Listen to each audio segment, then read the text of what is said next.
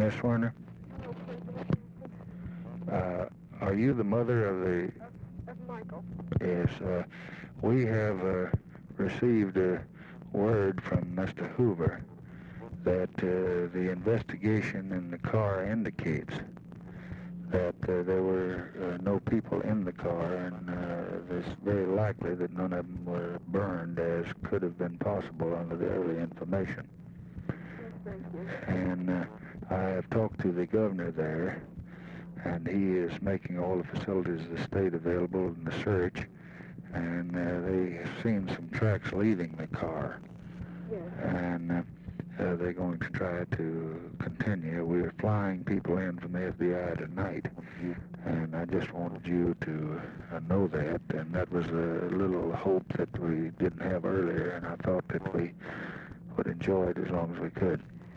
Thank you so much, President Johnson. I appreciate this. Thank you very much. Thank you, ma'am. Thank you. Bye. Waiting.